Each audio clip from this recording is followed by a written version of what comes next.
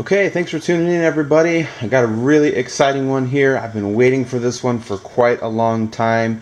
It's just been released. I want to say first off to thanks to GearBest.com for sending this to us for review.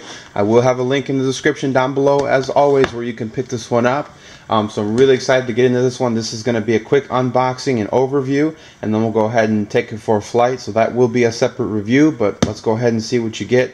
Obviously, this is the JJRC JJ Pro P130 Battler. So it's a 130 size quadcopter featuring, uh, you know, FPV and of course our FlySky transmitter. They do have two different versions. They have a bind and fly and have a ready to fly. This is the ready to fly version, and it is going to come with a 5.8 gigahertz 800 TVL uh, 40 channel race band uh, FPV transmitter.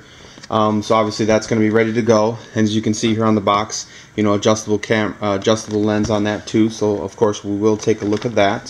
So just taking a look at the box, looks like it's pretty much the same on the front.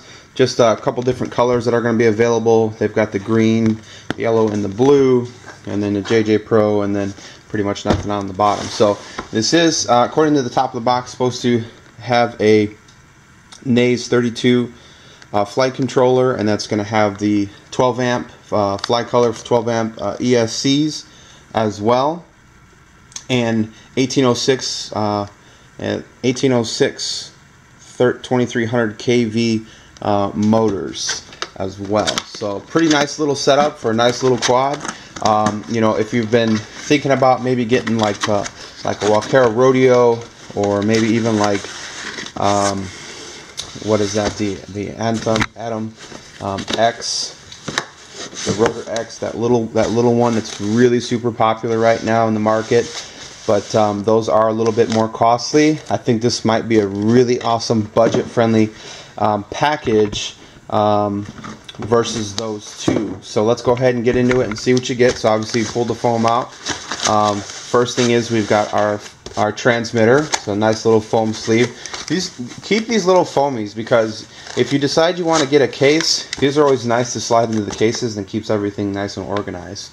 So that's our normal FlySky uh, FS um, i6 uh, transmitter. Pretty straightforward on there. We'll go, definitely get into that. These do take four um, double A's and they do have um, trainer port on the back as well. So nice little transmitter. Um, you can see we've got our plug here for US, obviously being in the US. And it looks like we've got a little Allen wrench as well. And that's going to be it in that one. So let's go ahead and get into this one. So this is what we've been waiting for here. Our quadcopter. Let's go ahead and pull it out. Very snug, but fits in there tight. So if you're going to keep that, shouldn't get tossed around very much. Super light, really nice little quadcopter. I love the design of this thing. Um, just a really awesome little flyer. I mean, that fits in the palm of my hand. That is so cool. I think a lot of people really like the idea of smaller quads, uh, being able to zip in and out of smaller spaces um, you know, some backyard FPV flying without being too too intimidated with tons and tons of power of a, a high performance racer. But this is an awesome little racer, uh, little FPV quad um, at a really nice price point that fits in the palm of your hand. That's really cool. So obviously we'll just confirm here on the motors. So yes, 1806 uh, 2300 kV motors on there and then we've got our prop nut so that's nice we can use that. So we can if we want to customize our propellers we've got XT60 connector on the rear for our lipo um, and then of course we've got our FPV camera up front. It does use its own circular polarized so unfortunately you will not be able to switch that out unless you you know do some do some work to that. Um, but it does have one already as you can see and that is a right hand circular polarized so that's a nice little FPV antenna. Not going to want to take this one too too far with that little antenna um, but that's a nice nice little setup. And I like the adjustability of this camera. So you can see you've got some pretty good adjustment to it and they did kind of notch out the interior of that to make uh, allow for space. So that's about the maximum angle with the factory setup as you can see. So pretty nice put that lens cap back on top there. And you can see we've got our flight controller, everything really accessible. We've got our USB port right here on the side. Pretty nice. All you guys like getting in there and tuning these up. Nice and accessible. We've got, see here, of course we've got our antennas here. Probably want to maybe set up some antenna tubes or something to kind of keep these out of the way. Um, not sure if I want to trust that. If this gets in a crash, these could probably get tore up by the propellers. So I want to take a look at that. But of course we've got our, our Naze 32 flight controller. You can see that in there. One of the things on the bottom of this quad that I noticed, so the landing legs are interesting. They went with a foam. So pretty straightforward. If you rip these off, they should just be able to get the stick-on ones pretty easy, but they're nice and dense. So that's going to be pretty nice to be able to land. And then the ESCs are on the bottom, not on the top like we, we traditionally see. So I'm sure that's for space purposes.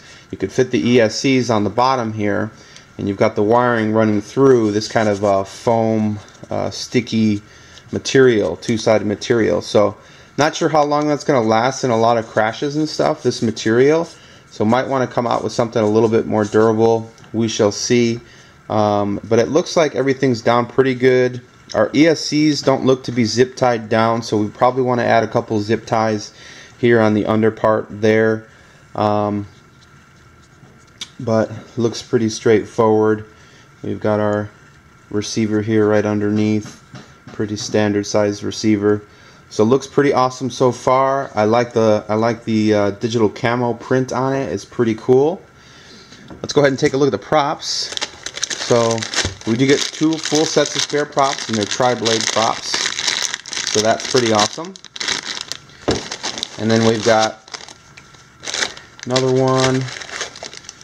And looks like we've got we got our bind plug here. So that will come with that. That's handy. And then of course we're going to have our LiPo charger. So if you don't have a LiPo charger, this is a ready to fly package. So that will give you B3 uh, charger for 1, 2, and 3 cell. The quadcopter does come with one LiPo, so you're definitely going to want to pick up some more of these. The LiPo it comes with is a 850 milliamp 30C with a XT60 connector. That's a 3 cell, that's a 11.1 volt LiPo. So keep that in mind. A little bit of interesting size. Um, obviously, GearBest will be selling these. I'll leave a link in the description below for those too. If you want to pick up some extra batteries, I definitely recommend it. Um, and then, of course, we've got our balance plug here. So nice setup. If you've got a hobby grade style charger, you can definitely hook that up um, with that, or you can charge to the balance lead through the charger that does come with it. And I did notice that it does come with a uh, little double-sided sticky, sticky uh, uh, Velcro here. So you've got Velcro that I'm guessing they want you to mount on the battery and that keeps the battery from sliding around. So I'm not sure how much of a fan I am of that. I can see how that would work, but I'm thinking a battery strap would probably be a better option. You can just maybe strap this around, maybe have a tight one, because um, it is a kind of a thin plate there up top where you do uh, mount the battery. Um, so that's why they give you that to help that from from sliding off. And there's something else in here. I'm hoping it's a battery strap. Oh, yes it is. Okay, so you do get the battery strap. So there you go. So the, I'm, I'm guessing the Velcro to keep that battery down a little bit better. And then you do have the battery strap so you can strap that battery right on top. So that's definitely a must-have on there. I would actually recommend more of like a rubberized anti-skid pad um, that they that a lot of uh, companies sell. You can just cut out, and that that'll help the battery from sliding around. That way, you don't have to put Velcro on every one of your batteries, um, and then just strap it down. That'll that should keep it pretty tight. Uh, of course, hard hard crashes that might come off, but um, that should keep it down if you keep that that strap on there pretty nicely. So pretty awesome so far. Let's go ahead and put it on the scale and see what this thing weighs, and then uh, we'll do some measurements as well. All right, so let's go ahead and put this on the scale see how much it weighs. So we got 7.2 ounces for the quadcopter, and our battery, we got 9.6. Hopefully you can see that. 9.6 ounces, And let's go ahead and throw our little battery strap. I don't think that's going to make a difference, but this scale is not sensitive enough for that. And let's go ahead and throw our props on here and see with our props what it weighs. And it looks like we're at, looks like 10 ounces. 10 ounces, 10.1, 10 ounces. So super lightweight little quadcopter one of the main things I really love about this thing and why I've been eyeballing it and had to get my hands on one of these awesome little flyers. Hopefully it is an awesome little flyer, awesome little quadcopter from JJRC. So let's go ahead and take a look at some measurements on this guy and see what kind of carbon fiber we're looking at. So our main body here See if we can get a good angle here. Looks like we're three millimeters, so nice thick carbon fiber there. And our top plate is about half that, about one and a half, 1.6. So about half that on the carbon fiber. And of course we'll measure our shafts here on our motors. So we've got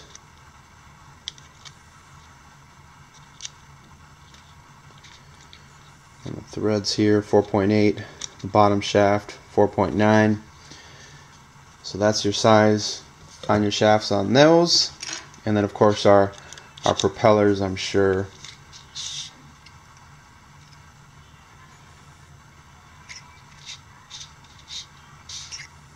Propellers here we've got